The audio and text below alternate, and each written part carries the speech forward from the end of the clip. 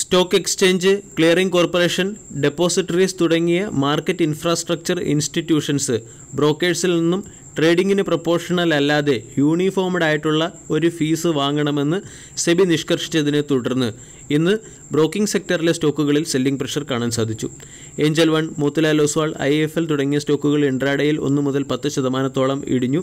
Five paisa capital S M C global securities തുടങ്ങിയ സ്റ്റോക്കുകളിലും ഇന്ന് ഇടിവ് പ്രകടമായിരുന്നു.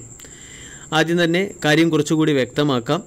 ഇവിടെ ഇതുവരെ നിലനിന്ന് വന്ന് അല്ലെങ്കിൽ ഇതുവരെ നിലനിന്നിരുന്ന കീഴ്വഴക്കം അനുസരിച്ച് കൂടുതൽ ട്രേഡിംഗ് വോളിയം ജനറേറ്റ് ചെയ്യുന്ന കമ്പനികളിൽ നിന്നും സ്റ്റോക്ക് എക്സ്ചേഞ്ചുകൾ കുറഞ്ഞ നിരക്കിലുള്ള ഫീസാണ് ഈടാക്കിയിരുന്നത്. ഇവിടെ ട്രേഡിംഗ് വോളിയത്തിന് പ്രൊപ്പോഷണൽ അല്ലാതെ എല്ലാ ബ്രോക്കേഴ്സിന്റെ കയ്യിൽ നിന്നും യൂണിഫോംഡ് ആയിട്ടുള്ള അല്ലെങ്കിൽ ഏകീകൃതമായ രീതിയിലുള്ള ഫീസ് ഈടാക്കണമെന്ന് സെബി മാർക്കറ്റ് ഇൻഫ്രാസ്ട്രക്ചർ ഇൻസ്റ്റിറ്റ്യൂഷൻസിനോട് നിർദ്ദേശിച്ചതിന്റെ പശ്ചാത്തലത്തിലാണ് ഇന്നത്തെ ദിവസം ബ്രോക്കിംഗ് സെക്ടറിലെ സ്റ്റോക്കുകൾ ഇടിഞ്ഞത്. ഇതിൽ ഏറ്റവും അധികം സെല്ലിംഗ് പ്രഷർ കാണാൻ സാധിച്ചത് ഏഞ്ചൽ വൺ എന്ന സ്റ്റോക്കിലാണ്. ഏഞ്ചൽ വൺ എട്ട് പോയിന്റ് അഞ്ച് ശതമാനം ഇടിഞ്ഞ് രണ്ടായിരത്തി മുന്നൂറ്റി അൻപത്തേഴിനടുത്ത് ക്ലോസിംഗ് നൽകി. ഇരുപത്തൊന്നായിരം കോടി രൂപയുടെ മാർക്കറ്റ് ക്യാപ്പുള്ള കമ്പനിയുടെ വാല്യൂഷൻ പതിനേഴ് പോയിന്റ് എട്ട് എട്ട് ഡിവിഡൻഡ് ഈൽഡ് രണ്ട് പോയിന്റ് ഒന്ന് ആറ് ശതമാനം ഫിഫ്റ്റി ടു വീക്കായി മൂവായിരത്തി എണ്ണൂറ്റി തൊണ്ണൂറ്റാറും ഫിഫ്റ്റി ടു വീക്കിലോ ആയിരത്തി നാനൂറ്റി അൻപത്തിരണ്ടും. ഏഞ്ചൽ വണ്ണിന്റെ ഓരോ മാസത്തെയും ബിസിനസ് അപ്ഡേറ്റ് നമ്മൾ പരിശോധിച്ചാൽ കമ്പനി എഫ് ആൻഡ് സെഗ്മെന്റിൽ കൂടുതൽ ഓർഡറുകൾ ജനറേറ്റ് ചെയ്യുകയും എഫ് ആൻഡ് സെഗ്മെന്റ് വഴി കമ്പനിയുടെ കമ്പനിയുടെ വോളിയം ഓഫ് ട്രേഡ് ഉയരുകയും ചെയ്യുന്നുണ്ടായിരുന്നു. ഇതുവഴി എക്സ്ചേഞ്ചിൽ എക്സ്ചേഞ്ചിന് കുറഞ്ഞ നിരക്കിലുള്ള ഒരു ഫീസ് നൽകിയാണ് ഏഞ്ചൽ വൺ എന്ന കമ്പനി അതിന്റെ പ്രോഫിറ്റ് മാർജിൻ ഉയർത്തിയിരുന്നത്. പക്ഷേ ഇവിടെ ട്രേഡിംഗ് വോളിയത്തിന് പ്രൊപ്പോർഷണലായിട്ടല്ല മറിച്ച് എല്ലാ കമ്പനികൾക്കും എല്ലാ കമ്പനികളും ഏകീകൃതമായ രീതിയിൽ ഒരു ഫീസ് നൽകണമെന്ന് സെബി നിഷ്കർഷിച്ചത് നിഷ്കർഷിച്ചത് ഏഞ്ചൽ വണ്ണിന്റെ പ്രോഫിറ്റ് മാർജിൻ ഇടിയുന്നതിന് പിന്നിൽ ഒരു പ്രധാന കാരണമായേക്കാം. ഈ ന്യൂസിന് മുകളിലുള്ള മാർക്കറ്റ് റിയാക്ഷനാണ് ഇന്നത്തെ ട്രേഡിംഗ് സെഷനിൽ കാണാൻ സാധിച്ചത്. അതുപോലെ തന്നെ ബ്രോക്കിംഗ് സെക്ടറിലെ കമ്പനികൾ പ്രോഫിറ്റ് നേടുന്ന മറ്റൊരു മാർഗം.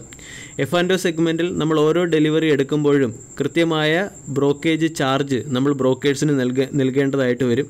അതേസമയം ഉയർന്ന വോളിയം ട്രേഡ് നടത്തുന്നത് കൊണ്ട് ബ്രോക്കേഴ്സിന് എക്സ്ചേഞ്ചിന് ഇത്ര വലിയ തുക നൽകേണ്ടതായി വരുന്നതുമില്ല. ഇവിടെ ട്രേഡേഴ്സിന്റെ കയ്യിൽ നിന്നും ബ്രോക്കേഴ്സ് വാങ്ങുന്നതും ബ്രോക്കേഴ്സ് എക്സ്ചേഞ്ചിന് കൊടുക്കുന്ന തുകയിലും തുക എക്സ്ചേഞ്ചിന് നൽകുന്ന ഫീസിനും ഇടയിലുള്ള ഡിഫറൻസാണ് പലപ്പോഴും ബ്രോക്കേഴ്സിന്റെ പ്രോഫിറ്റ് മാർജിനിൽ വളരെ നിർണായകമായ പങ്ക് വഹിക്കുന്നത്. ഈ പ്രോഫിറ്റ് മാർജിനെ നഷ്ടപ്പെടുത്തുന്ന രീതിയിൽ സെബിയുടെ ഒരു നിർദ്ദേശം വന്നതിന്റെ പശ്ചാത്തലത്തിലാണ് ഇന്ന് ബ്രോക്കിംഗ് സെക്ടറിലെ സ്റ്റോക്കുകൾ ഇടിഞ്ഞത്. ഈ പ്രോബ്ലത്തെ സീറോദ എന്ന ബ്രോക്കേജ് കമ്പനിയുടെ ഫൗണ്ടറായ നിതിൻ കാമ നിതിൻ കാമത്ത് വളരെ സ്പഷ്ടമായി എക്സ്പ്ലെയിൻ ചെയ്യുന്നുമുണ്ട്. നിതിൻ കാമത്ത് പറയുന്നത് എഫ് ആൻഡ് സെഗ്മെന്റിലെ ട്രേഡിംഗ് വോളിയം വർദ്ധിച്ചതിന്റെ പശ്ചാത്തലത്തിലാണ് സീറോദ പോലുള്ള ബ്രോക്കേജ് കമ്പനികൾ ഇക്വിറ്റി സെഗ്മെന്റിൽ സീറോ ബ്രോക്കേജ് എന്ന ഫെസിലിറ്റി നൽകുന്നത് കാരണം എഫ് ആൻഡ് സെഗ്മെന്റിൽ നിന്നും കമ്പനികൾക്ക് മികച്ച രീതിയിലുള്ള റവന്യൂ ജനറേറ്റ് ചെയ്യാൻ സാധിക്കുന്നു.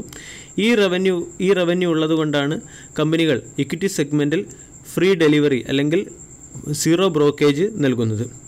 എന്നാൽ വരും സമയങ്ങളിൽ സെബിയുടെ ഈ ഒരു യൂണിഫോം പ്രൈസിംഗ് തീരുമാനത്തിന്റെ പശ്ചാത്തലത്തിൽ കമ്പനികളുടെ പ്രോഫിറ്റ് മാർജിൻ ഇടിയാനും സീറോദ പോലുള്ള കമ്പനികൾ ഇക്വിറ്റി സെഗ്മെന്റിലെ സീറോ ബ്രോക്കേജ് സിസ്റ്റം അവസാനിപ്പിക്കാനും സാധ്യതയുണ്ട്. അതുമല്ലെങ്കിൽ ബ്രോക്കിംഗ് കമ്പനികളുടെ റവന്യൂവിൽ ഉണ്ടായിരിക്കുന്ന നഷ്ടം മറികടക്കുന്നതിന് വേണ്ടി എഫ് ആൻഡ് സെഗ്മെന്റിലെ ചാർജസ് ഈ കമ്പനികൾ ഉയർത്താനും സാധ്യതയുണ്ട്. ഇതിന്റെയൊക്കെ പശ്ചാത്തലത്തിൽ ഇന്നത്തെ ട്രേഡിംഗ് സെഷനിൽ ബ്രോക്കിംഗ് സെക്ടറിലെ സ്റ്റോക്കുകളിൽ സെല്ലിംഗ് പ്രഷർ പ്രകടമായി. ഏഞ്ചൽ വൺ എന്ന സ്റ്റോക്ക് ഡൗൺവേഡ് ട്രെൻഡിലേക്ക് പൂർണമായും മാറിക്കഴിഞ്ഞു. രണ്ടായിരത്തി ഒരുന്നൂറ്റി അൻപത് സ്റ്റോക്കിന്റെ ഒരു സ്ട്രോങ് സപ്പോർട്ടാണ് രണ്ടായിരത്തി ഒരുന്നൂറ്റി അൻപത് എന്ന സപ്പോർട്ട് നഷ്ടമാവുകയാണെങ്കിൽ സ്റ്റോക്ക് ചിലപ്പോൾ രണ്ടായിരം എന്ന സൈക്കോളജിക്കൽ സപ്പോർട്ടിലേക്കോ അല്ലെങ്കിൽ ആയിരത്തി എണ്ണൂറ് തുടങ്ങിയ ലെവലുകളിലേക്കോ ഇടിയാൻ സാധ്യതയുണ്ട്. ഒട്ടുമിക്ക ബ്രോക്കിംഗ് കമ്പനികളുടെയും റവന്യൂവിനെ പ്രതികൂലമായി ബാധിക്കുന്ന രീതിയിലുള്ള അപ്ഡേറ്റ് ആയതുകൊണ്ട് വരും ദിവസങ്ങളിൽ സ്റ്റോക്ക് സ്പെസിഫിക് അല്ലെങ്കിൽ ബ്രോക്കിംഗ് സെക്ടറിലെ സ്റ്റോക്കുകളിലെ ആക്ഷൻ നോക്കി വേണം സ്റ്റോക്കിലെ ഫർദർ ട്രേഡിംഗ് ഓപ്പർച്യൂണിറ്റി നിശ്ചയിക്കാൻ. വീഡിയോ എല്ലാവർക്കും ഇഷ്ടമായി എന്ന് വിശ്വസിക്കുന്നു. താങ്ക്